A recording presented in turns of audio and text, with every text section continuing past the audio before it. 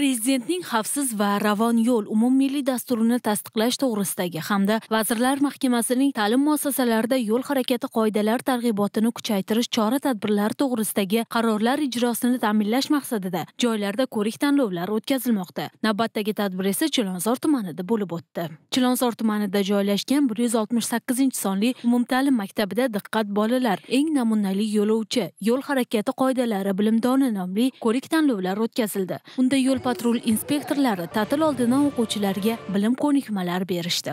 Asosiy ko'zlangan maqsadimiz bolalar bilan bog'liq noxush holatlarni oldini olish maqsadida e, shunday tadbirlar poytaxtning barcha tumanlarida bo'lib o'tmoqda.